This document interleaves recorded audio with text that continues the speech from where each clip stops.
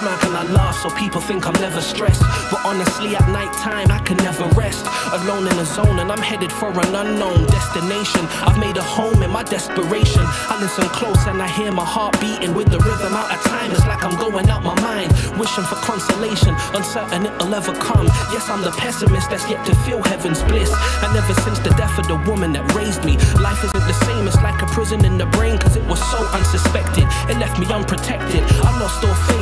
For being a skeptic. But when she took her last breath, I kissed her on the cheek, and I can see her in my head just like a picture on repeat.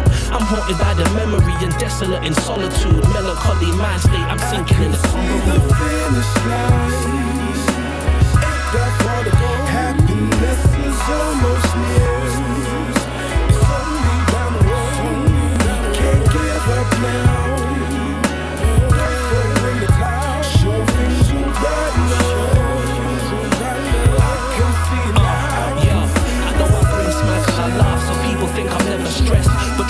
when I'm alone, I can never rest. Sat in a quiet place and listening to sad tunes. That's when I'm mourning, absorbing all of the bad news. I keep the black suit cleaned as per usual.